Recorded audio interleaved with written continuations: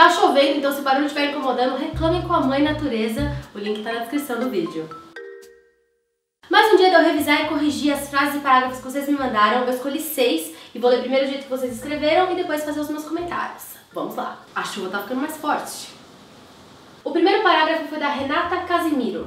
Zoe always dreamt of becoming a doctor. Everyone said that if she really wanted to get into college, she'd have to study like crazy. Zoe thought she was being patronized by those people, but she wasn't naive, so she dedicated all her free time to study and stopped partying, what made her feel ostracized from her friends. Five years later, in her graduation speech, even though she was feeling a little queasy, she said, Thank you for everything. Now I know that I misconstrued what you said years ago. All my relentless effort was worth it. I couldn't be happier. Parou a chuva?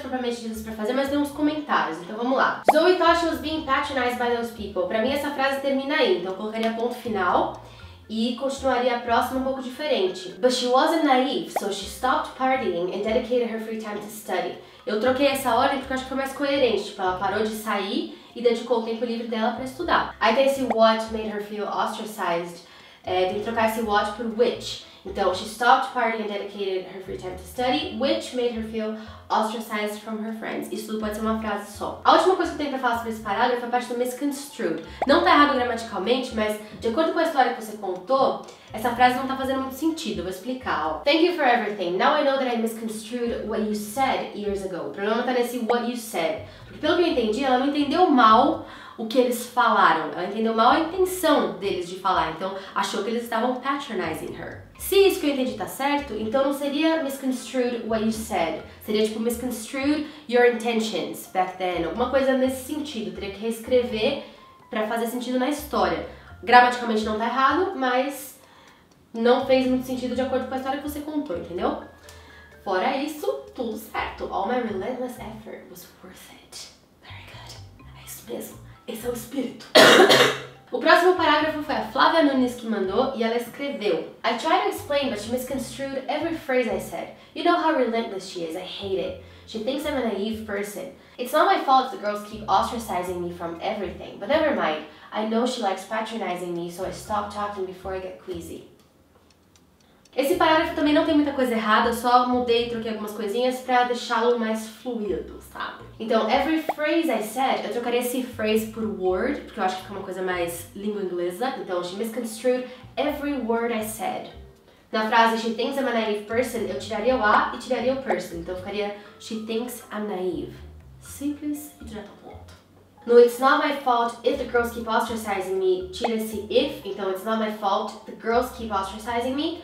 E em vez do I get queasy, I got queasy, porque está falando tudo no passado, então So I stopped talking before I got queasy. Só. O próximo parágrafo foi do Matheus Cacaurio, não sei se estou falando isso certo, provavelmente não. E ele escreveu o seguinte. I reckon my classmate was ostracized from a group which he used to admire in a long time ago. He used to be a better person, one of my best friends. However, he has been so conceited recently. He's always showing off his grades, patronizing his friends, and trying to imply them he's a know-all with his relentless will. Of course, all naive people believe him. It's a crazy situation. Why is he acting like this? Is it could be a misconstruing?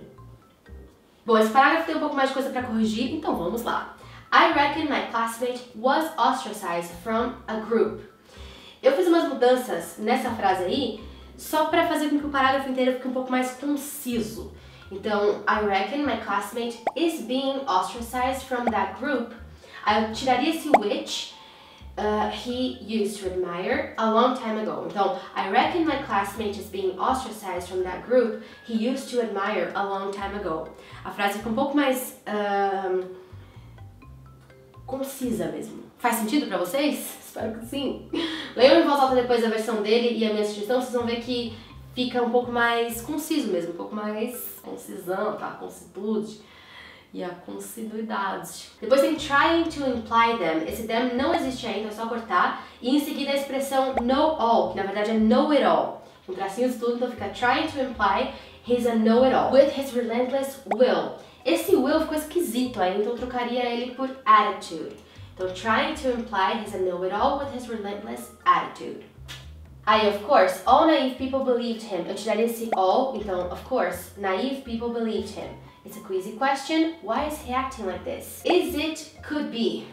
Você colocou duas formas de perguntas juntas. E, tipo, não existe isso. Is it could be. É could it be. E o último errinho, que na verdade foi o principal desse parágrafo, foi o uso do misconstrue. Porque apesar dele ser sinônimo de misunderstand, é um mal entendido não é um misconstrued, é um misunderstanding.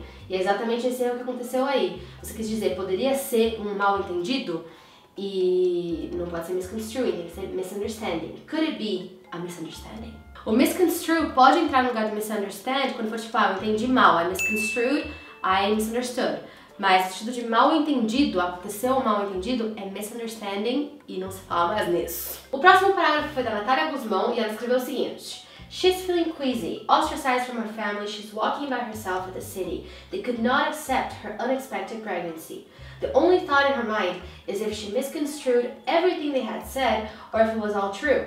After all the patronizing words over the years, she knows it was true. As a naive person, she's confused. She does not know where to go or what to do. However, she's relentless and she will overcome this entire situation. Olha, se eu falar pra vocês. Vamos lá, corrigindo o parágrafo da Natália Guzmão. Ostracized from her family, she's walking by herself at the city. Eu trocaria esse at por in, não porque o at esteja errado necessariamente, mas porque dá aquela impressão de que, ah, eu fui andar na cidade, que nem a gente que mora no interior fala que vai pra cidade, tipo, pro centro da cidade. Então, in the city, eu acho que seria uma melhor opção. Depois tem they could not accept her unexpected pregnancy. Esse could também não tá errado, mas eu acho que o sentido que você quis dar é que eles não aceitariam. E se for isso mesmo, o certo seria would. The only thought in her mind is if she misconstrued everything they had said or blá blá. Eu trocaria esse if por whether, porque fica mais as coisas de condição, tipo, se era uma coisa ou se era outra. Blá blá blá. E nesse blá blá blá tem o all que eu troquei por really, pra não ficar repetitivo com after all depois. Então, if it was really true. E é isso. E o último parágrafo, que é um ótimo término de relacionamento, quem me mandou foi a Lia Carolina, que escreveu o seguinte. I'm having a queasy feeling about our relationship. I just hope that you don't misconstrue my naiveness with something else. Every time you are with your friends, you patronize me. I already talked to you about it, and you are relentless in ostracize me. I can't do this anymore. It's over. You go, girl. You do you. That's right. Uhum. Correções. Em vez de the queasy feeling, que dá aquela impressão de que é o sentimento que vai acabar com todos os relacionamentos, sabe o que? Colocaria a queasy feeling about our relationship. O naiveness não tá errado, não sei se você pesquisou, se deu aquela chutadinha, mas existe naivety também. Eu acho que é mais comum falar naivety, mas eu não tenho nem certeza. De qualquer maneira, naiveness não tá errado, tá? É o substantivo pra naive que é o quê? Adjetivo. Aí eu troquei with por for, porque a ideia é que tá misconstruing uma coisa pela outra, né? Tenho I already talked to you about it. Uh, pra ficar uma coisa mais do jeito que eles falariam, I've already talked to you about it. Só colocar o have ali. E em vez de ostracize, ostracizing. You are relentless in ostracizing me. It's over, bitch. E esses foram os parágrafos escolhidos dessa semana. Espero que vocês tenham gostado. Foi um vídeo com muitos acontecimentos. Sol, chuva, pássaros cartões de memória. Muito obrigada a todo mundo que participou, continue participando porque a semana que vem é a última da série to Z e até amanhã. Um beijo, tchau Brasil!